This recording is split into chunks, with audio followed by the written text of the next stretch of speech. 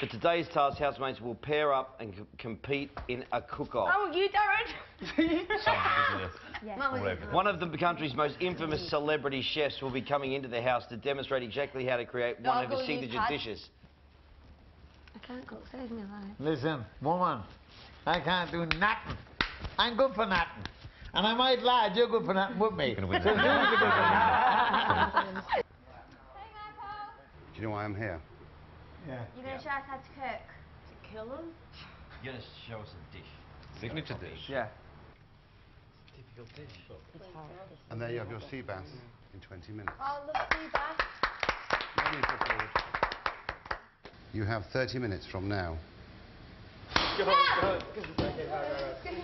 the foot.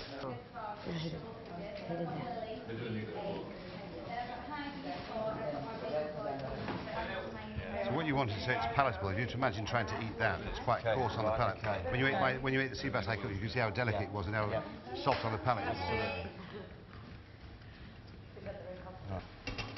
It's about a mile and a half away in hills.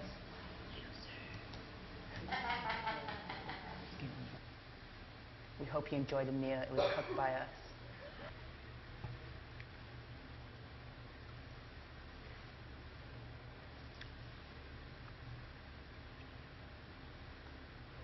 You can sit down. Thank, thank you, Marco.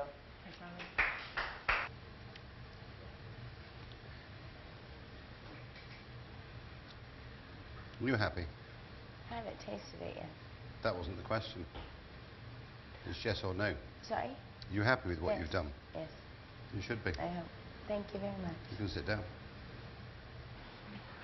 Why do you think it's going to be interesting? I know why it is. Because we didn't put a lot of white wine on it.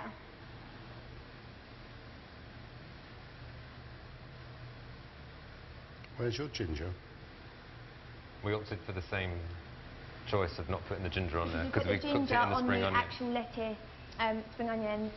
Same difference.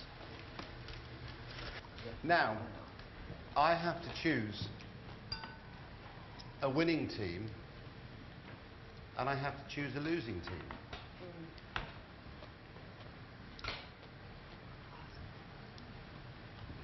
The winners are going to have a nice dinner. The losers are going to be doing the washing up.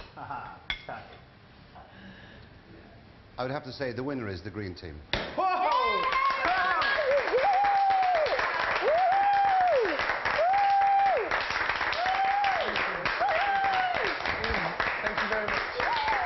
You don't like washing up, do you?